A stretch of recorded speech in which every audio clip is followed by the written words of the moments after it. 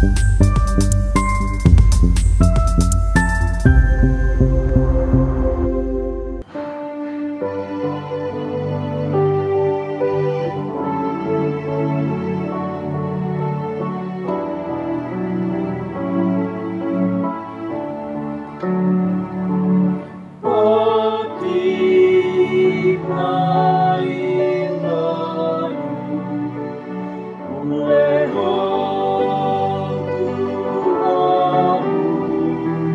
awesome.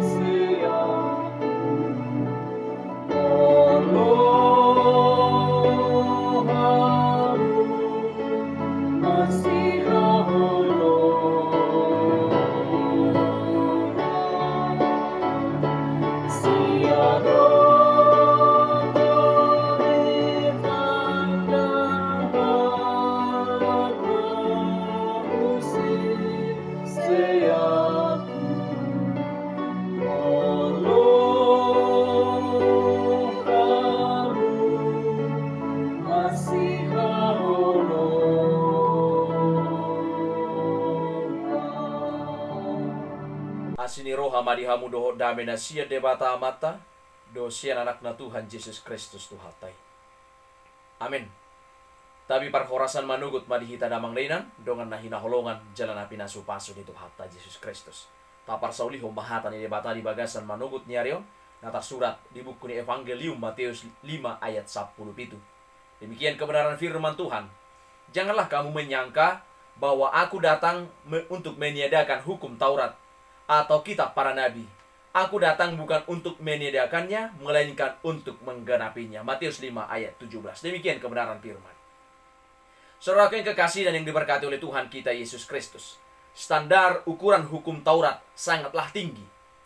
Kudus, mengasihi, dan yang sempurna. Inilah cerminan dari karakter Allah sendiri.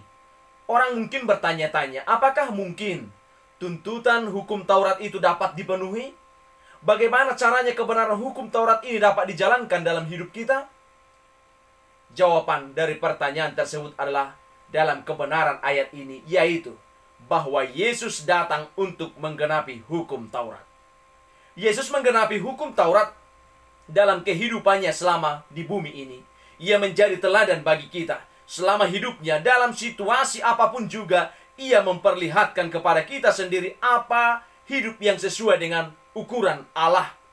Yesus berkata dalam Yohanes 8 ayat 29, Aku senantiasa berbuat apa yang berkenan kepadanya. Lebih jauh lagi, ia menggenapi hukum Taurat dalam kematiannya dengan menjadi korban penebusan dosa kita. Hukum Taurat menuntut hukuman mati bagi segala pelanggaran. Dan orang yang berbuat dosa itu harus dihukum mati Yehezkel 18 ayat 4. Sebab upah dosa ialah maut Roma 6 ayat 23. Tetapi karena kasihnya kepada kita, Yesus rela untuk membayar tuntutan hukum Taurat atas dosa-dosa kita.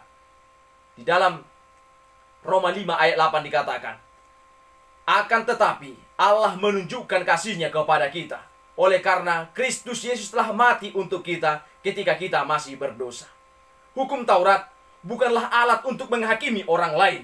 Dengan hukum Taurat kita seharusnya disadarkan bahwa sekalipun kita bisa memoles penampilan luar begitu rohani tetapi hati kita tanpa Yesus tetaplah kotor.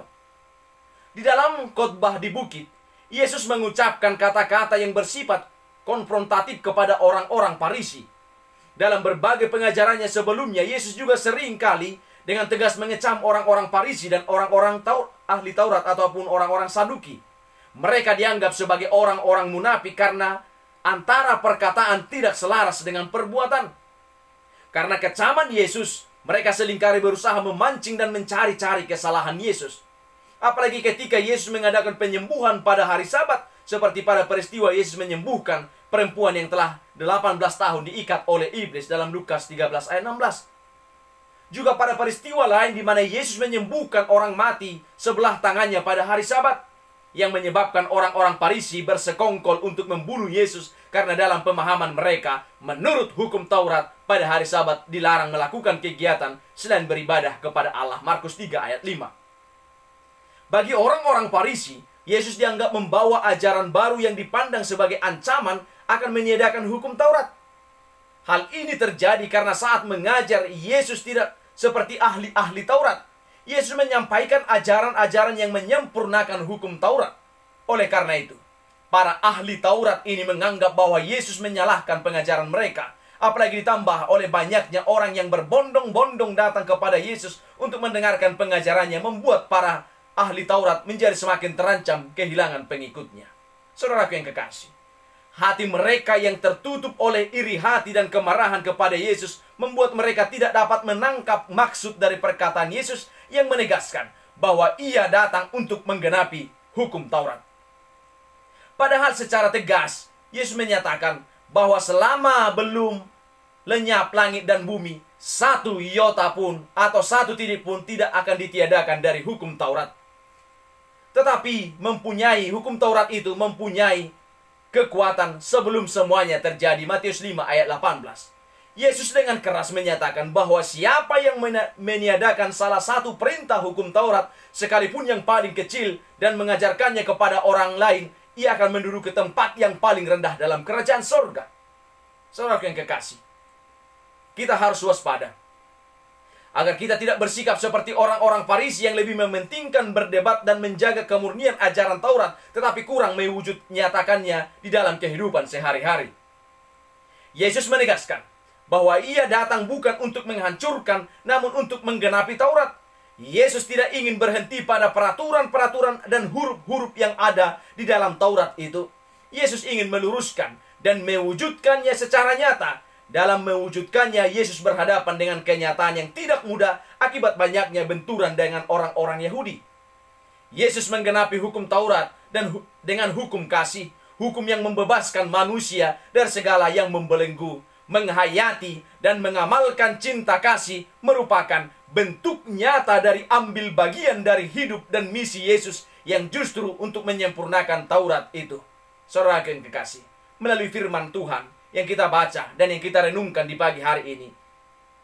Hal itu bukanlah semata-mata hanya untuk memahami dan mendalami Alkitab.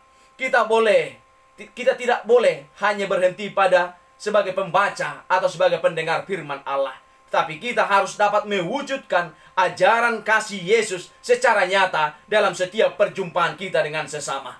Kita dipanggil untuk menjadi pelaku-pelaku firman-Nya. Yakobus 5 ayat yang ke-22. Tuhan Yesus memberkati. Amin. Kita bersama berdoa dalam doa Bapa kami. Bapa kami yang di sorga, dikuduskanlah namamu. Datanglah kerajaanmu, jadilah kehendakmu di bumi seperti di sorga. Berikanlah kami pada hari ini makanan kami yang secukupnya.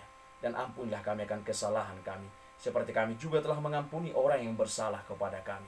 Dan janganlah membawa kami ke dalam pencobaan, tetapi lepaskanlah kami daripada yang jahat. Karena engkaulah yang punya kerajaan, dan kuasa dan kemuliaan sampai selama-lamanya. Amin.